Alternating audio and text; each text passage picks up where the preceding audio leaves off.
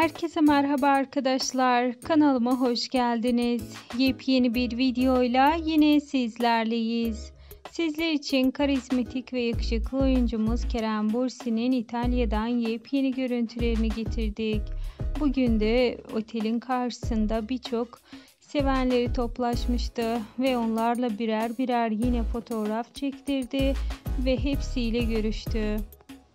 Otel karşısında ise yağmur başladı ve oyuncumuz yağmura tutuldu diyebiliriz. İşte bu özel kareleri sizlerle paylaşmak istedik. Eğer sizler de Kerem Bursim ve Hande Erçel ile ilgili yepyeni haber ve bilgiler almak istiyorsanız gözünüz kulağınız Peri Masalı kanalında olsun. Şimdilik ise benden bu kadar arkadaşlar.